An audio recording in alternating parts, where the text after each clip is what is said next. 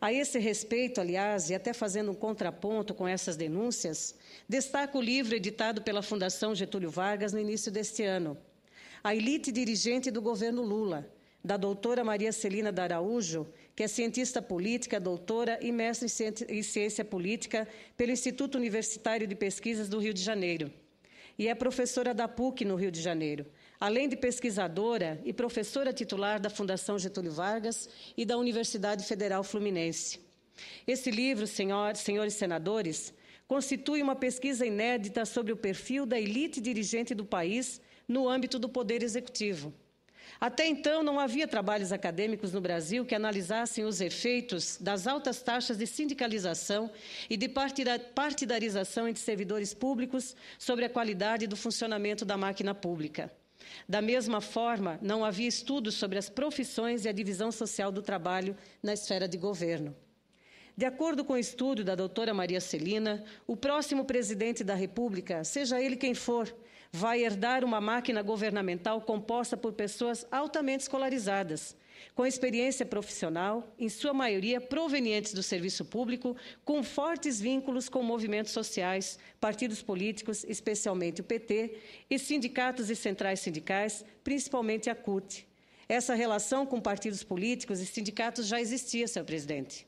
É uma relação histórica, mas ela foi ampliada demasiadamente e aprofundada no governo Lula.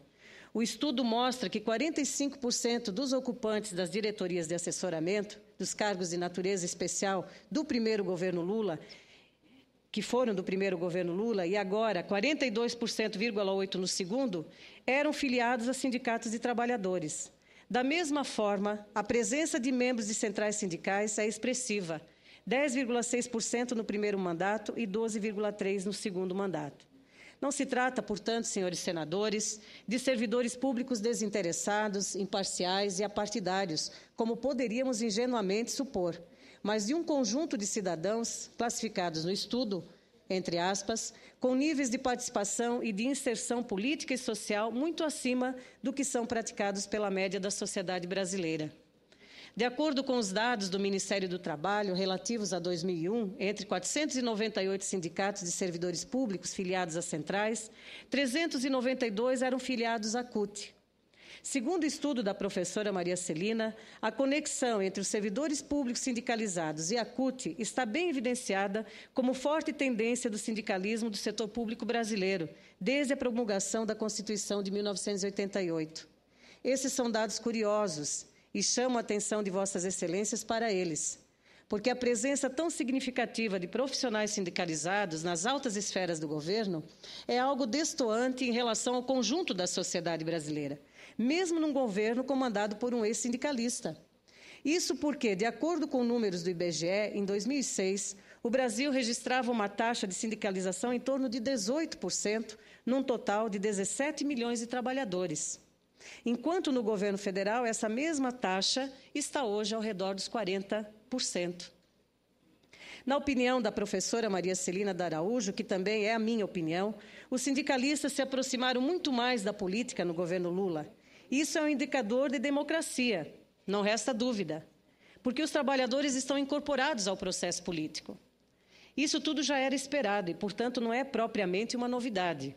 O que não se pode associar diretamente é o fato de ser sindicalista, levar uma pessoa a ser considerada competente para exercer este ou aquele cargo público.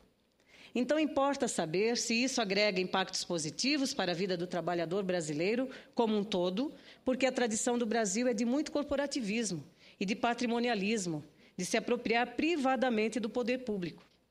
Sempre se poderá dizer que não é bem assim, pois se tratava de gente da melhor qualidade. Mas a realidade mostra que em nenhum outro grupo o acesso a postos de chefia foi tão célere. Entre aspas, aqui dentro da fala do livro. Quando Lula deu fim à diversidade de afiliações políticas que era respeitada nos outros governos democráticos, ele não apenas eliminou do serviço público uma vacina contra a intolerância e a radicalização política, como também comprometeu a vigilância da própria máquina.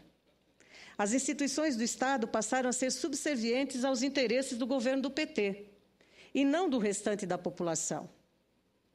A Constituição Federal garante a qualquer pessoa, seja ela funcionária pública ou não, o direito de se filiar ao partido político que bem entender. O que a democracia não tolera, no entanto, é no apoio do governo motivado exclusivamente pela filiação partidária.